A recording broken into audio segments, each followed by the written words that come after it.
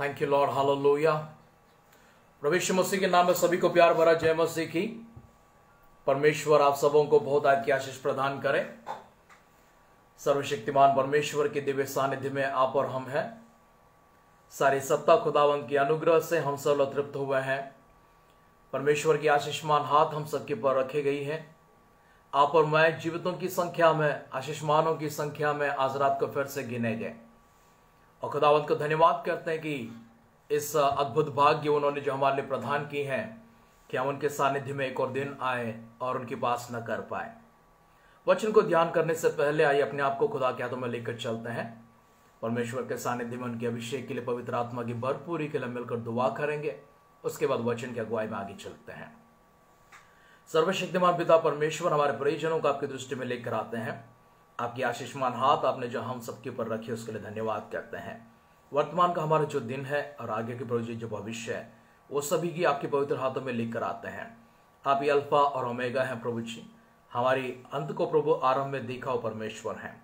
हमारे व्यक्तिगत जीवन में और आने वाले भविष्य में जो भी आवश्यकता है, सभी आप जानते हैं। उन सबों को प्रभु जी हमारे पास लेकर आएँगे, अपने विश्वास के स्थिर राह पर चलाएँगे। इस बात को मानते हैं खुदा। हमें ना छोड़ते हुए, ना त्यागते हुए, ना टुकराते हुए हमारे संग रहकर हम आगे बढ़ाने वाले परमेश्वर शुक्रिया करते हैं। गौरव, महिमा, सम्मान आपकी देते हुए आदर के सब प्रभु आपके सानिध्य में आते हैं। इस संध्याकाल के समय एक और बार हम वचनों को ध्यान करने जा रहे हैं। पवित्र आत्मा का अभिषेक हम सबको भरने के लिए। हमारे परिजनों में से प्रभु यदि कोई कमज़ोर है, बीमार है, उनके लिए दुआ करते हैं ताकि चंगाई को प्राप्त करें सामद को प्राप्त करें। यदि कोई आर्थिक कमी गड्ढी से गुजर रहे हो प्रभु, नुकसान से गुजर रहे हो, कर्जों से गुजर रहे हो उन्हें राहत देने के लिए दुआ करते स्वर्ग के भंडार से प्रभु उन्हें बरकतें उन तक पहुंचाते हुए प्रभु जी, उन्हें भी स्वतंत्र करे ताकि खुले मन के साथ, पूर्ण प्रभु जी इच्छा के साथ में पूर्ण मन के साथ आपसे आप प्रभु उपासना कर पाए। खुदा धन्यवाद करते हैं हमारी सारी पुकारों को आप सुनते हैं। बच्चों से लेकर प्रभु जी भाई को, बहनों को, माओ को, पिताओं को, बुज़ुर्गों को सभी को छूकर अपने देवा तंदुरुस्ती के लिए, आशीर्वादों के लिए, उनके घरों पर प्रभु जी आपने भेजा हुआ भंडारों के लिए धन्यवाद करते हुए। वचन से बातें कीजिए, सारी महिमा, गौरव, आदर समाना प्राप्त करें। हमारे उद्धार कर तो प्रभु मसीह के नाम से इस प्रार्थना को मांगते हैं, सुनर कबूल कर पिता। आमेन आमेन आमेन। प्रभाव सबको बहुत आज की आशीष प्रदान करें। अमेन हाला लोविया हम चलते मती का सुसमाचार तीसरा अध्याय में। मती का सुसमाचार तीसरे अध्याय में प्रवेश करते हुए हम वहाँ से ईश्व मसीह और यहुन्ना के बीच में जो बातचीत चल रही है अर्थात यहुन्ना जो ईश्व मसीह के विषय में वर्णन कर रहे हैं, उनके बारे में देखते हैं। कल के दिन हमने देखा कि यर्दन की नदी में किस प्रकार से यहुन्ना प्रचार कर रहे थे। मन फिराव के बपतिस्मा के विषय के बारे में घोषणा कर रहे थे और उसी समय कई फर्सी आते हैं, सदुकी आते हैं सभी को भी उन्होंने बपतिस्मा दिया था और उनसे पूछा भी था कि किसने तुम्हें यह ज्ञान बना बताई है ये सबक सिखाई है कि आने वाली उपद्रव से बच जाए। मन फिराओ, पश्चाताप करो, बपतिस्मा लो, बस यही बात उनको योना बपतिस्मा कहते आए थे और इसके बाद में ईश्वर मसीह भी कहते वचनों को देखते हैं, दस वचन से देखते हैं। दस वचन से बढ़ते मती को सुसमाचार, तीसरा अध्याय का दस वचन से। और अब कुलाड़ा पेड़ों की जड़ पर रखा हुआ है, इसलिए जो जो पेड़ अच्छा फल नहीं लाता, वह काटा और आग में झोंका जाता है। मैं तो पानी से तुम्हें मन फिराव का बपतिस्मा देता हूँ परंतु मेरे बाद आने वाला है। वह मुझसे भी शक्तिशाली है, उसकी जूती उठाने के योग्य नहीं। वो मुझे पवित्र आत्मा और आग से बपतिस्मा देगा। मैं तो सिर्फ़ आपको पानी से बपतिस्मा देता हूँ यह पर्याप्त नहीं है। योना कहने का अर्थ यह है, जो बपतिस्मा आप मेरे हाथों से प्राप्त कर रहे हो यह पर्याप्त नहीं है। क्यों पर्याप्त नहीं है? क्योंकि मेरे पीछे इसकी मेरे पीछे इसका समर्थन देते हुए मेरे पीछे जो आने वाला है इसे स्वीकार करते हुए आप लोगों को और आगे चर की चरण में लेकर जाने वाला है। वो मुझसे शक्तिशाली है। वो पा, वो पानी में नहीं देंगे आपको। देखते हैं वचनों को देखते हैं। मैं तो पानी से तुम्हें मन फिराव का बपतिस्मा देता हूँ। परंतु जो मेरे बाद आने वाला है वो मुझसे शक्तिशाली है। मैं उसकी जूती उठाने के योग्य नहीं। मैं तो उसकी जूती उठाने की योग और आग में बपतिस्मा देगा। वो तो तुमको पवित्र आत्मा में और आग में बपतिस्मा देगा, इसलिए क्या करो? तुम जो मेरे पीछे आने वालो, उसके लिए राह देखो, अपना मन उनके ऊपर रखो, मेरे ऊपर नहीं, मैं महान नहीं हूँ। योना के कहने का अर्थ है, मैं महान नहीं हूँ। मैं इसके आगे आपको सोमवार के दिन और आगे लेकर जाऊँगा। जहाँ लोगों ने पूछा कि योना को क्या तुम तो मसीहा हो तो किस प्रकार से योना कहते मैं मसीहा नहीं हूँ योना एक बात को यहाँ पर स्पष्ट करना चाहते कि वे मसीहा मसीहा नहीं है। वे मसीहा से पहले मसीही की मार्गों को सिद्ध करने के लिए, उन फाटकों को सिद्ध करने, उन सड़कों को सिद्ध करने, उन मार्गों को सीधा करने के लिए उनसे पहले भेजे गए हैं, जिनके बारे में यहोना बपतिस्मा देने वाला यशा भविष्य वक्ता ने कहा कि जंगल में पुकारने वाले की एक आवाज़ मुझे सुनाई पड़ती है। और वह यर्दन की जंगल, यहूदिया के जंगल में, जहाँ पर यर्दन के पास यहुन्ना बपतिस्मा पुकार पुकार कर सभी को कहता है, मन फिराओ, पश्चाताप करो, बपतिस्मा लो, क्योंकि स्वर का राज निकट आ चुका है। जो मेरे पीछे आने वाला है, वो मुझसे शक्तिशाली है, इतना शक्तिशाली है जो मेरे पीछे आने वाला इतना योग्य है कि मैं उसके जूतियों को भी उठाने के योग्य नहीं हूँ। उस प्रभु की जूतियों को उठाने की योग्यता की आवश्यकता है और वो योग्यता मुझमें नहीं है। इतने अपने आप को दीन और नम्र करते हैं। वो किसमें बपतिस्मा देंगे? मैं तो सिर्फ़ तुम्हें पानी में बपतिस्मा देता हूँ, लेकिन जो मेरे पीछे आएँगे वो तुम्हें पवित्र आत्मा में और आग में बपतिस्मा देंगे। जो कोई भी यीशु मसीह को अपना उद्धार करता प्रभु के रूप में स्वीकार किए हैं और जिस किसी ने भी पिता, पुत्र, पवित्र आत्मा के नाम पर पानी में डूबकर बपतिस्मा को लिया है, इन वचनों को गौर करते रहिए, ये पर्याप्त नहीं है। ये पर्याप्त नहीं है, ये तो आपके आरंभ के चरण हैं, जो आपको प्रवेश दिलाते हैं प्रभु के उस राज्य में, उस कदम को बढ़ाने के लिए। आपने यीशु मसीह को अपना उद्धार करता मान लिया है, अपने पापों का कबूल किया है, अपने प्रायश्चित किया है उसके बाद आपने परमेश्वर के वचन के आधार पर अपने बपतिस्मा को भी लिया है, ये आरंभ है। इसके आगे अगर आपको एक ख्रिस्ती होकर, एक परिपक्व मसीही होकर प्रभु के राह पर चलते हुए स्वर्ग जैसा जीवन को प्राप्त करना है तो आपको एक अगवे की आवश्यकता है, एक उद्धारक की आवश्यकता है, एक प्रभु की आवश्यकता है, वो प्रभु कोई और नहीं है, वो पवित्र आत्मा है। जिन्हें कहा गया कि ईशु मसीह जब आएँगे, जो मेरे पीछे आएँगे, अर्थात ईशु मसीह आएँगे ईशु मसीह आने के बाद आपको पवित्र आत्मा में बपतिस्मा देंगे। गौर की जिन बपतिस्मा देंगे।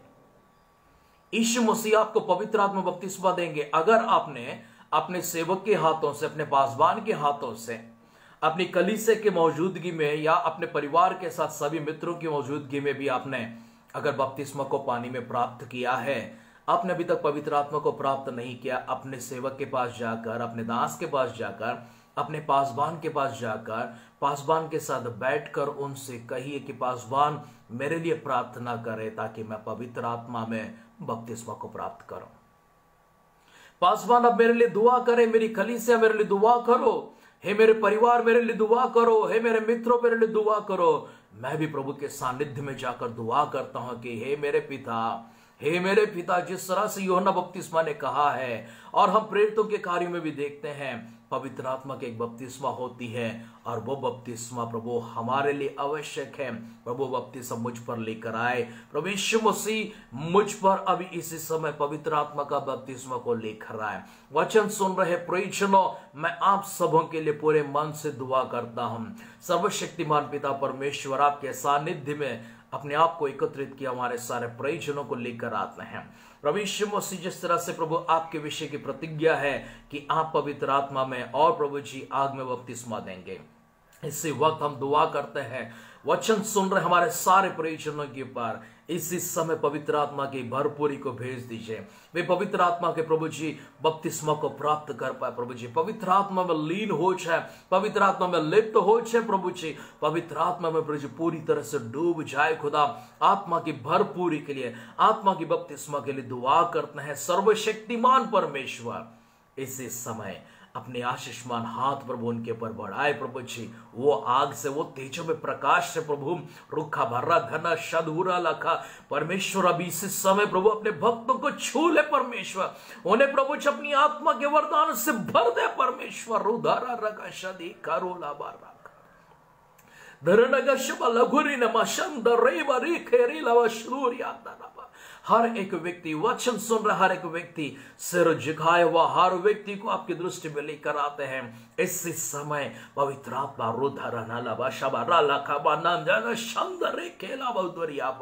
परमेश्वर उनके ऊपर उतराए, प्रभु जी। उनके ऊपर उतराए, परमेश्वर। पवित्र आत्मा की बपतिस्मा रिभकमा शंदोले के दरी ने का सामर्थ से भर दे, सामर्थ से भर दे, अपनी शक्ति से भर परमेश्वर रुआ का शंबोले खेर दुआ करते परमेश्वर, दुआ करते हैं प्रभु जी, हर व्यक्ति को छोले धन्यवाद करते प्रभु ईश्वर के नाम से मांगते हैं। Amen amen amen hallelujah hallelujah. जो मेरे पीछे आने वाला है, वो मुझसे शक्तिशाली है। मैं तो सिर्फ़ तुम्हें पानी में बपतिस्मा देता हूँ, वरन जो मेरे पीछे आने वाला वे तुम्हें पवित्र आत्मा में और आग में बपतिस्मा देगा। उसका सूप उसके हाथ में है और वो अपना खलिहान अच्छी रीति से साफ़ करेगा। और अपने गेहूँ को तो कत्थे में इकट्ठा करेगा, परंतु भूसी को उस आग में जलाएगा जो बुझने की नहीं। उस समय ईश्वर गलील से यर्दन के किनारे पर यहोना के पास उससे बपतिस्मा लेने आया। परंतु यहोना यह कहकर उसे रोकने लगा कि मुझे तो तेरे हाथ से बपतिस्मा लेने की आवश्यकता है और तू मेरे पास आया है। ईश्वर ने उसको यह उत्तर दिया कि अब तो ऐसा ही होने दे। कि अब तो ऐसा ही होने दे, क्योंकि हमें इस रीति से सब धार्मिकता को पूरा करना उचित है। तब उसने उसकी बात मान ली और ईशु बपतिस्मा लेकर तुरंत पानी में से ऊपर आया और देखो, उसके लिए आकाश खुल गया और उसने परमेश्वर के आत्मा को कबूतर की नाई उतरते और अपने ऊपर आते देखा। और देखो, यह आकाशवाणी हुई कि यह मेरा प्रिय पुत्र है जिससे मैं अत्यंत प्रसन्न हूँ। योना ने कहा कि मुझे तो आपके हाथों से बपतिस्मा लेना, लेकिन आप कहते मुझे बपतिस्मा दो। यीशु मसीह ने कहा अभी ऐसा होने दे अभी ऐसा होने दे, क्योंकि हमें इसी प्रकार से इस रीति से सब धार्मिकता को पूरा करना उचित है। तब उसने उसकी बात मान ली और ईशु बपतिस्मा लेकर तुरंत पानी में से ऊपर आया और देखो उसके लिए आकाश खुल गई। और क्या देखे कि परमेश्वर की आत्मा कबूतर की नाई उतरते हुए उनके ऊपर आते देखा है। और देखो वो आकाशवाणी हुई है कि यह मेरा प्रिय पुत्र है जिस समय प्रसन्न हो, यह मेरा प्रिय पुत्र है जिससे मैं अत्यंत प्रसन्न हूँ। प्रभु आपके बारे में भी यही गवाही दे। ये मेरे प्रिय पुत्र है, ये मेरी प्रिय पुत्री है जिनसे मैं अत्यंत प्रसन्न हूँ। ईश्वर आपके बारे में एक जीवित गवाही दे कि यह मेरे प्रिय संतान है, जिनके विषय में मैं अत्यंत प्रसन्न हूँ। आइए प्रभु के हाथ में अपने आप को समर्पण करते हैं। हम दुआ करते रहेंगे कि आप पवित्र आत्मा की बपतिस्मा को प्राप्त करें। आत्मा में चलते रहें। प्रभु के आगमन के लिए अपने आप को सिद्ध करें, उनके प्रिय जाने चाहे दुआ करें।